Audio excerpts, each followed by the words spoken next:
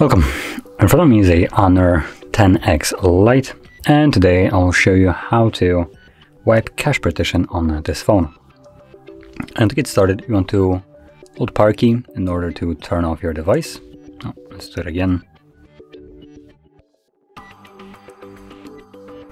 So select power off and once the device turns off you want to hold power key and volume up, both keys at the same time. So let's do that right now.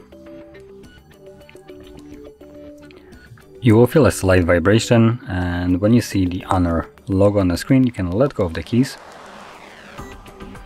There we go, there's the logo.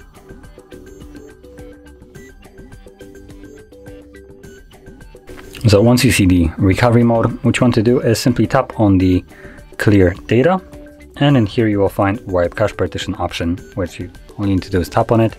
It instantly begins and there we go, it's now completed. So let's select back and then restart, and this will take us back to Android.